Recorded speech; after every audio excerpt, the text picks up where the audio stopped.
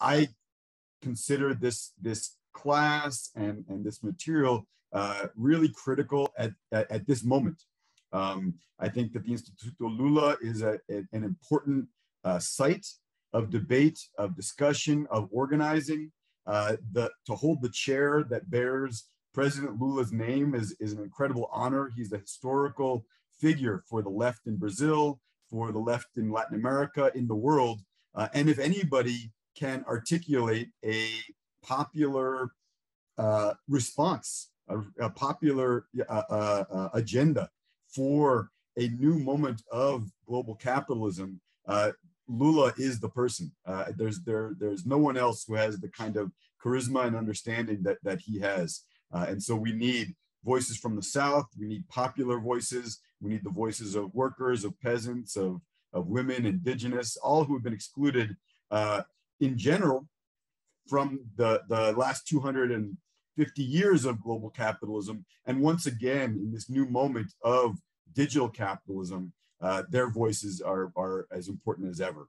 Um, and so that's what I hope this class can do. Um, I'll be I'll be straight. In in, in to some degree, I invited uh, ten experts from around the world, from from Europe, from India, from China, from Australia, from the United States, from Brazil, in part because this subject, this issue of digital capitalism, is one that I am uh, just beginning to, to, to, to, understand. I think we all are, but, but I, I really do feel like um, we, we will benefit with the contribution of, of all these, all these other uh, experts.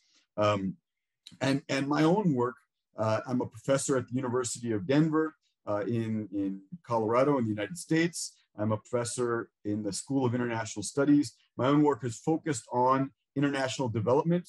Um, in particular, I've looked at the way in which the way that the way that states uh, uh, raise money through revenues, through taxes, uh, and and and spend it tells us something about the societies, the social systems in which they operate. Um, and so, questions of development for me have very much uh, been focused on the nature of citizenship, the nature of the state, the role of, of, of developing countries in an international system um, in an international capitalist system, and, and to observe how that's how the, that's shifted over time. Uh, who who uh, uh, who contributes what resources for what purposes uh, and, and receives what benefits is is really central to the way in which I uh, uh, approach social science. Um, so this class is is going to be run over the next 10 weeks there uh, be sure to, to note that we're, we're skipping a week for Carnaval, February 26th, and there are two sessions that will be at slightly different times uh, to accommodate uh, people in different time, presenters in different time zones. So do keep an eye on the on the the syllabus uh, and on the schedule that you can find in the in the Google Classroom, and um, uh, and and you should be able to to keep everything straight there. Uh, I'm going to try to create dynamics for us to get to know each other, for us to, to uh, articulate our own concepts of what popular sovereignty in a digital age might look like. Zoom is, is clumsy and clunky, as, as you all know, um, and we'll just have to do our best um, uh, to get to know each other and to, and to, to build on what we know. And that, that, that is uh, part of how I understand teaching in general, and in particular in this class. Um, teaching for me and, and, and classes for me are very much about unlocking the knowledge that already exists in all of us.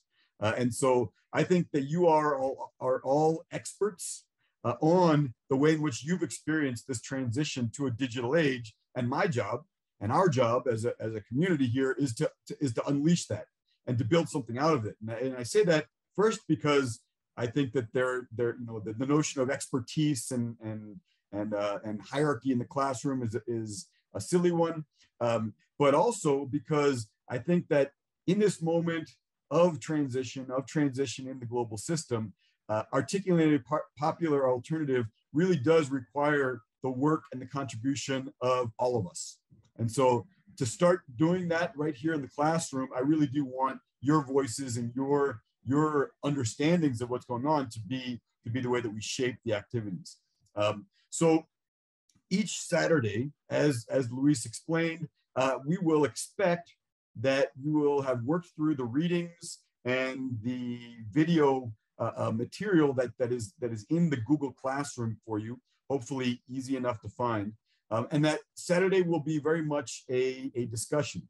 I will, um, uh, there, there will be a, a, short space for some presentation.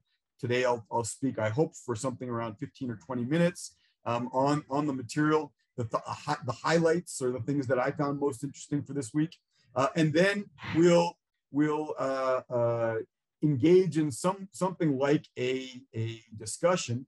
Um, when there are other presenters, I will begin by asking them one or a few questions to start off the conversation to draw out what I thought were the most interesting things about the presentations that they have pre-recorded. You'll find that they that they've pre-recorded lectures for you all to uh, to, to view um, and selected readings for you all to, to read. And so I'll ask them a few questions about what I found most interesting. And then really I want there to be questions from you all. Um, and to that end, you'll see that there are two assignments for you uh, during the during the, the, the seminar. One of them is to submit in writing questions for the presenters. So uh, we'll see how the numbers are, but my guess is that in any given week, there will be uh, uh, five or six people who have decided that they want to write out two or three questions. They can be in Portuguese. I'll translate them for our presenters in the event that they don't speak Portuguese. Uh, you can write two or three questions out uh, for the presenters, and you'll ask those questions in the classroom, and, and that'll be part of the, the dynamic. Other people who haven't written out questions, of course, can ask them, but I thought this was a useful way just to, to, to really uh, uh, lock people into some level of, of participation. The other assignment, um, as you know, is to reflect on uh, uh, the week's readings and, and presentations. And so at some point during the 10 weeks, you will pick a week in which you write a one page, and I, I, I give one page and, and 250 words or so double spaced as a guideline. If you go over the amount, I will still read it. If you're under the amount, you will not be penalized, but that's just a, a, a, a, a guide to, to what we think is what I think is, is reasonable just to, to, to give a short reflection. Um, and this is just another way to lock people into a certain amount of participation. Those who submit their reflections before a week's class uh, will depending on the numbers, once again, be invited to say a few words about their reflection, what they found most interesting, what they'd like to hear more about. Um, and so hopefully that can also be a way to, to generate a dynamic. Um, for today, I'm going to, to share my screen now, um, just so you have an idea of the flow of, of today's uh, class. And uh, that can be shared. And I think I can get this into into full screen here. Give me one second. Okay. Um, so uh, just so you know that, so this is obviously the title of the course. I put my email here, and and this this uh, um, uh, PowerPoint will be on Google Classroom also for you to to work through if, if, if you like afterwards. Um, just for today, the uh, uh, after this short introduction, I wanted to talk a little bit about the concept of value, the data value, about labor. Uh, we saw the video on techno-feudalism. I really liked that Varoufakis uh, video. Uh, I'll ask uh, for people to, to indicate, um, uh, you know, if, if, you were able to, to see that and perhaps respond to that, that particular video. Um, and we'll, we'll see how time goes. I, want, I don't want to occupy all of the class with my own presentation, but I had also thought about some, some discussion of the role of state and citizenship in, in this particular moment. And then I have a short dynamic breakout and the idea would be to separate everybody into groups of say five, allow you to introduce yourselves to your colleagues um, and, uh, uh, and, and have an exchange. And then we'll bring back the breakout groups to the, the plenary and, um, and hear what, what people discussed based on the activity, the, the questions that I've uh, uh, suggested for the breakout groups. Um, so, and actually, you know, now that I, that I think about it, um, because we're recording, I believe the chat will remain recorded. Uh, and, and, and that, that's convenient because um, it, perhaps everybody now or in the, in the next uh, uh, moment or so could introduce themselves in the chat. And at least there, I will have a little bit more uh, uh, connection with, with each of you. Um, our numbers probably don't allow us to let everybody um, uh, take a minute or two to present themselves. We'd end up with the whole time on presentations. But in the chat, perhaps you know introduce yourself, uh, where you're you're from, and and uh, uh, the most uh, uh, or the re the reason that you you wanted to take take this course. Um, it can be the question that you want, most want answered, or the issue that you find most pressing. Um, so name, where you're from, and, and, and most important issue or, or question. And that can be in the chat, and at very least, I'll have a chance to, to, to view, that, view that there. Um, so the, the first thing that I wanted to, to, to start with was uh, the concept of, of, of the data value chain. Um, and let's see, there, go to the next slide, there we go. Um, you'll you'll remember this from the the video presentation that that uh, is in that is in classroom. Um, I really like this. This is from an UNCTAD uh, 2019 digital digital report or, or uh, uh, UNCTAD annual report um, of of digital capitalism.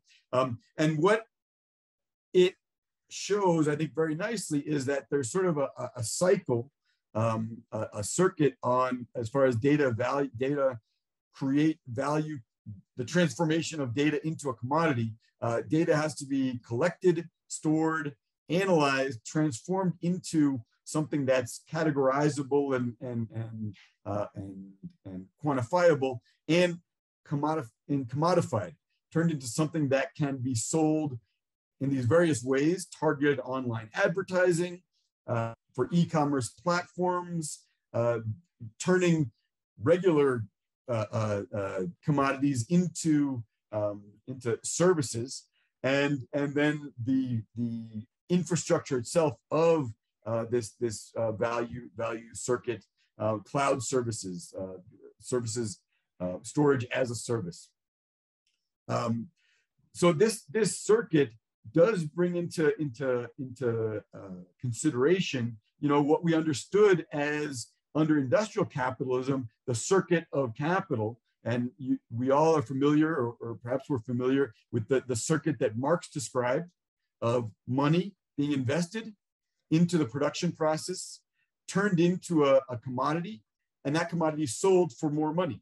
That circuit of capital, uh, um, in which the, the, the transformation of uh, uh, of, of capital into a commodity through the, the application of labor was the source of surplus. Um, well, that circuit, oh, this is hard to read, isn't it? Um, well, it, here, here we'll, we'll, we'll, uh, we'll leave it uh, for now. Uh, maybe I'll fix it in the future. But that circuit is somewhat different now. Uh, we do, we still have a role for labor, but now data is the raw material data as information. Because it, it, contains information. Data is, is the raw material that is transformed. And so we do have to reconsider in some ways the role for labor. Um, some of the information uh, will will mute everyone into and uh, but you will have the, the ability to unmute yourself. Uh, but please do keep your, your, your mic muted, obviously. Um, so some of the way in which labor is related to information is that uh, uh, uh, you know, much of the data that is collected is produced by us in our daily lives. Um, and so you you will we'll have a chance to discuss it, but you saw that we know what you did during lockdown video. I really like that that video, and it sort of uh, shows how we're under constant surveillance. There is data being collected about us through cameras, through our smartwatch, through our clicks on Facebook, uh, through our searches in Google, through our, our, our cell phones and, and tracking where we are. So just in our daily lives, it's ubiquitous and inescapable. You can't really opt out. Uh, uh, that that notion that that we have you know the ability to, to opt out and and and there are privacy agreements europe has tried to create some some mechanisms of, of, of regulation that allow you to reserve areas of your life for privacy california has said well there are things you could do to to to to, to have your own control over the data that you're that you're generating but really it's it's almost impossible the fine print on all of those those uh, forms that we, we consent to when we, we opt into different websites. Uh, it's impossible for anyone to, to, to, to, manage that. So there's this ubiquitous collection of, of data as information from us that, uh, uh, that we make through our living, through our, through our lives. And that's one aspect of it. And then there's the, the, the labor that goes into the value chain. And that goes from the, uh, uh, the, the um, the children mining cobalt in the Republic of Congo uh, and, and the exploitation that occurs there to bring out the minerals that are essential to to this this uh, this digital digital age uh, to the the the high tech workers who are writing the code and the algorithm um, uh, to the the that that that turn data in, into information that can be commodified to the uh, the warehouse workers in Amazon that are moving things around, um, to the Uber driver and, and, and Amazon delivery person who's who's who's delivering uh, um, uh, the, the the commodity. And so you know, labor has a role within the value chain, but also simply producing producing uh, uh, data. Um, and so this source of, of, of, of information and the, and the surplus that comes out of it um, surplus has to be understood in a, in a, in a new way. Uh, the, the value of the data above the cost of labor to commodify it, to produce it and to turn it into commodity. Well, we've got low wages in the, in the sector to produce the hardware, the minerals, to deliver the goods, and we have no wages in some of the, the, the ways in which uh, data is produced. And so the surplus, the absolute surplus and the relative surplus is extraordinary. And this is why we see this incredible inequality uh, that that uh, that we know is is occurring right now. But so data as raw material that is appropriated from labor in these various ways is defines sort of the, the, the, the, production of surplus in this in this moment. And I think that's really key. Um, and it really gets to this this video that, that Varoufakis offered on techno-feudalism. And his argument is that capitalism has evolved out of itself into something worse, not into socialism, as many on the left would have uh, uh, uh, argued for and, and have been working for, but in fact, techno-feudalism, replacing profit. If what defined capitalism was profit and wage labor, we've replaced profit with central bank stimulus. Since 2008, since the crisis of 2008, which was a crisis of neoliberal capitalism, since that moment, central banks have been pumping money, liquidity into the international economy. And this has been scooped up and absorbed by the gigantic, the big five, the large uh, uh, technology companies that dominate in their sectors.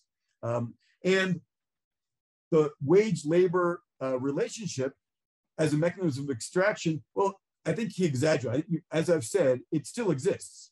The miners in, in Republic of Congo, the tech workers in Silicon Valley, the warehouse workers for Amazon, there is still labor in this value chain, uh, in this data value chain. In the form, in, there's still wage labor in, in that in that uh, in that value chain, but neoliberalism and uh, and and and automation have really undermined the ability of labor to uh, uh, negotiate to, to for, for a, a, a fair, uh, even close to a fair share of this of the value of their of their work. Uh, and you do have this appropriation of data in the feudal sense of uh, of, of data that is appropriate without our ever consenting to it, or without a value that returns to us in any way like a wage.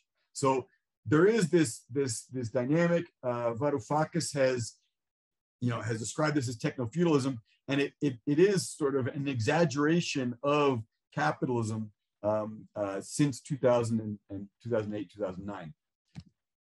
Um, I think I wanted to say, uh, um, no, I'll, we'll go, we'll go, I'll go to the, the, the, the state just to, to observe that um, there is this transition that um, that I think you know uh, uh, Mosco, the Mosco reading describes it very well. The Acemoglu reading describes it very well. The notion that under industrial capitalism there was a state building process that was relatively complete in the global north, relatively incomplete in the global south, but there was a understanding of what the what the state was meant to do under industrial capitalism which was establish a national market manage international relations to accelerate capital accumulation and pursue hegemony uh, legitimacy domestically um, in the global north that infrastructure uh, uh, those markets those international relations were uh, uh, uh, implemented were, were imposed were constructed to a fairly complete degree. Dominant classes had a degree of hegemony through the state that allowed them to use the state to, uh, to, to advance accumulation. Um, over time, and this is Acemoglu's argument, and I think that he's a little more uh, uh, uh rose tinted in his view of what happened in the post World War II period, labor forced the state to regulate capital to some degree. Um, uh, to, to, ameliorate inequality through labor, through, through workplace regulations, allowing unions, um, through the welfare state. Um, so there was this, this combination of a bourgeois state that advanced the interests of dominant classes, that uh, ameliorated the worst excesses and, and established some degree of legitimacy and hegemony. In the global south, one has to observe that this was, a, this was an incomplete process. Uh, states were weak, in terms of their ability to promote accumulation, to promote development. Labor was hyper exploited. Um, and, and, and this was you know, a characteristic of the global South. Um, there, there was a, a, very narrow, very narrow room for labor to regulate capital or to, to, to demand that the state would regulate capital. Um, but the neoliberal period, neoliberal globalization undermined many of these relationships, especially the countervailing power of labor. Um, and so what we see under, under uh, digital capitalism is that the state is once again central in creating this marketplace or uh, this mechanism, this, this, this uh, uh data value chain in providing the infrastructure. And, and Mosco does a nice job, and so does Zuboff, does a nice job of describing how the state through DARPA, the, the research arm of the, the military, through the National Science Foundation in the US and through the military contracts, the guaranteed uh, uh, um, uh, um, purchases and, and protectionism of the US military really created the infrastructure for this digital uh, age, allowing those big five companies to, to capture a monopoly or oligopoly power within these within this data, this data chain. Um, and you have super profits that the state inflates by pumping liquidity into the system after 2008, 2009. Um, what's, what's also true about the state is that under this period, the state has largely opted not to regulate capital, allowing these oligopolies and not breaking them up, allowing them to operate in a way that, that they escape taxes. I think Amazon paid something like one, one and a half percent of their revenue in tax in 2019. I mean, just I pay 33, you know, I pay a third of my income in tax. That's just the normal way that that that that uh, people uh, labor is taxed in in the U.S. Um, Amazon paid one and a half percent in in that particular year. So they have ways of evading taxes, and states have not sought to crack down on that. They've not regulated speech on the internet in a way that would um, require, you know, the kinds of things that we require of the of the normal press, which is a a uh, a reflection and a, and a, fairness doctrine that you can't just produce, produce uh, present one one side, you can't present lies, um, and allowing as we've said, capital to appropriate data um, from, from constant surveillance and ubiquitous intrusion into our, into our lives. And instead of a state that is based on some degree of hegemony, we're moving into the direction of a state that's based on coercion. Um, and so the surveillance, the constant surveillance of the military information complex, as opposed to military industrial complex, the military information complex is producing a, you know, unlimited store of data as information for capital to appropriate. And then the state is in, you know, operates to enforce um, the, the, and to, to restrain the social um, uh, discontent that comes out of the inequalities that, that, are, that, are, that are produced. Um, and so, and I do want to want to want to elaborate a little bit about what this means for for citizenship. Um, and so we've said that uh, capital and the state working together, oftentimes working together, surveil us constantly and attempt to modify our behavior. And Zuboff has really elaborated on uh, behavior as the, the, the raw material. Um, I, I, think that, that uh, one could say all data is, is the raw material, um, but she's very much interested in the way in which behavior is what is being captured by, by this new digital capitalism. Um, and because behavior is the thing being captured, capital has an interest in modifying our behavior and making it more legible, legible, uh, uh, easily easy to quantify, to categorize, to capture and make equivalent. The way in which I click on one website and you click on one website have to be equivalent for their measurements. Um, and so they make them equivalent. Uh, and then they nudge us in directions that uh, make it even easier for them to continue uh, pr producing and appropriate appropriating data. Um, the state has a, a, a, parallel interest in modifying our behavior, making us uh, uh, uh obedient and and and, uh, and, and compliant with this this this the system, this appropriation, this inequality. Um, and this the, the video, the, the we know what, we, what you did during lockdown, I really like that, that video also, um, uh, in which, and I don't know how many people were able to, to, to view it, but uh, in, in the video, a woman is being interrogated by a uh, representative of a company that's been hired to surveil people and make sure that they obey the COVID lockdown. But the way in which they surveil them you know, uh, uh, is evident. They have access to the cameras on the street, to the temperature gauge in her apartment, to her smartwatch, to everything. So they have, you know, uh, constant surveillance possible, and they take all of the indicators, the data from these these this Internet of Things that that exists, and they crunch it and they produce conclusions. An algorithm produces conclusions about why or, or, or, or you know, whether she is obeying the dictates of the COVID lockdown. Um, and her response is, you know, to constantly say, wait, you can't just take my data without my asking. Uh, you can't presume that my data tells you this thing when you don't really know me. Uh, uh, you're removing my ability to express myself as a human being, to have relationships with other human beings that aren't mediated through my smartwatch or, or, or through Facebook or for, you know, through these platforms.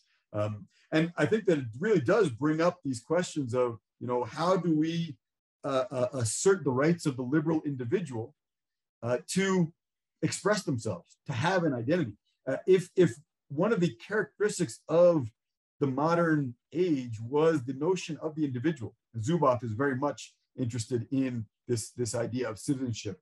Um, the liberal individual that can sort of decide am I in any setting? Am I North American? Am I a resident of Denver? Am I a man? Am I heterosexual? And you know, whatever the characteristics that I have within my identity, they are all available for me. And I bring them together in different ways at different moments uh, uh, to express myself in the situation as I wish. And that freedom to express oneself and to draw on all of our identities is something that um, is something that liberal uh, uh, uh, democracy depends on and the modern age was sort of defined by. And yet here we are constraining our, our behavior and turning our identities into things that can be quantified, uh, categorized, measured, turned into a commodity to be packaged and sold for targeted advertising, and also constrained. And Zuboff is very much worried about, about the constraint on our identities that, that, that occurs in this way. Um, and you know, I do want to elaborate a little bit because I think that Zuboff doesn't.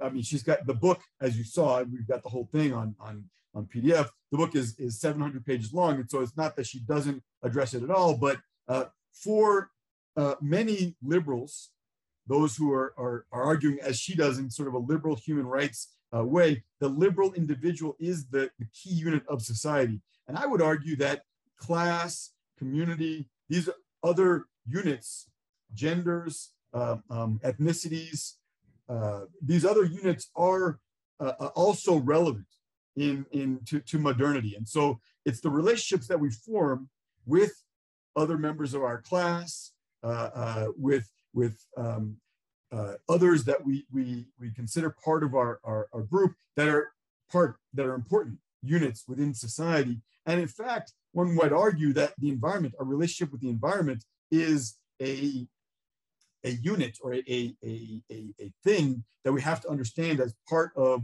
the way in which we make ourselves uh, uh, uh, complete as humans. Um, so Native Americans talk about the environment as a relation. Uh, your, your mother, your son, your, your, your cousin, you're in a relationship with them. And in the same way, nature is a, a relation of ours, Mother Earth, people talk about. Um, and so this notion that we have a relationship with the earth and with, with, with the environment is one that is part of the way in which we, we operate. All of this is broken down into commodified relationships uh, through this, this digital mechanism. And, and that uh, it, it, strips us of our ability to, to express ourselves as individuals and as members of, of, of communities.